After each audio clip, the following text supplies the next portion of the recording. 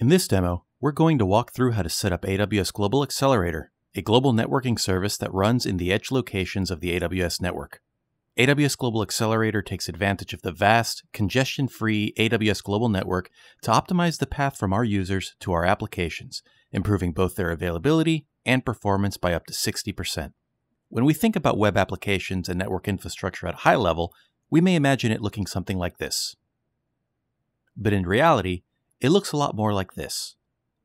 End users will usually travel across multiple networks before reaching our applications. Each time they pass from one network to another, it adds latency and reduces performance. AWS Global Accelerator solves this by moving our users' traffic onto the AWS Global Network more quickly. Using the public AWS Global Accelerator speed comparison tool, we can compare regions and see up to 60% decreased latency versus the public internet. Let's open up AWS Global Accelerator in the AWS Management Console and take a look at how quick and easy it is to get started with an example load balanced application already running on AWS. We begin by clicking the Create Accelerator button and giving it a name. If we had a pool of static IP addresses of our own that we've brought to AWS, we could configure Global Accelerator to use those. That's not the case though, so we'll just click Next. Now we need to create one or more listeners. Our existing application load balancer is listening for TCP connections on port 80, so we'll use the same settings for our global accelerator listener. But we could also listen on multiple comma separated ports or over an entire range of ports if needed.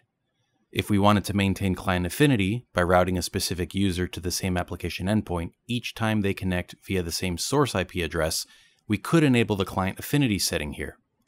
Our sample application is stateless though, so we can skip that. We could also configure our listeners for UDP connections on the appropriate ports, but we won't be needing that for this sample application either. Endpoint groups are collections of individual endpoints in a single AWS region. You can add up to 10 of these endpoint groups, i.e., regions, behind a single accelerator. Our sample application is running in North Virginia, so we need to select the US East 1 region here, as none of the other regions available would contain the endpoint we actually want to send traffic to. If we had instances of our application deployed to multiple AWS regions, with load balancers of their own, we'd want to add an endpoint group in each of those regions as well. We could then control the percentage of traffic that's being directed to the group using the traffic dial setting. Think of it as a volume knob for that endpoint group. By default, every endpoint group is accepting 100% of the traffic directed to it. As for health checks, Global Accelerator is going to use the same health check settings that are configured for our load balancer endpoint, so we don't need to modify those settings ourselves for this example. If we were going to be having Global Accelerator route traffic directly to individual EC2 instances or Elastic IP addresses, then we'd configure those separate health check settings here. Let's move on and add our endpoint. We've defined one endpoint group, and if we select Application Load Balancer as the endpoint type, we can choose our sample application's load balancer in the endpoint dropdown menu. We could also select an internal application load balancer if applicable. The weight setting here balances traffic across multiple endpoints, which we can use to direct more or less traffic to specific endpoints in our endpoint group, such as a new version of the application that we want to gradually send new traffic to before setting its weight to 100% and rolling it out fully.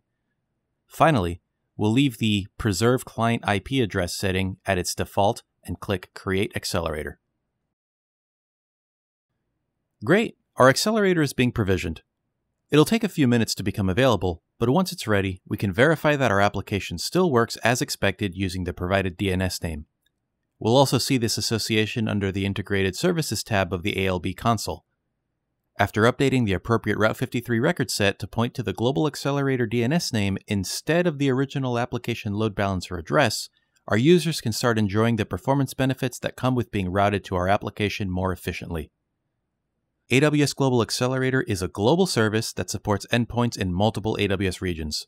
You can find the complete list of supported edge locations in the Global Accelerator FAQ page linked in the video description, along with more information on how to get started or dive deeper into its more advanced features. Thanks for watching!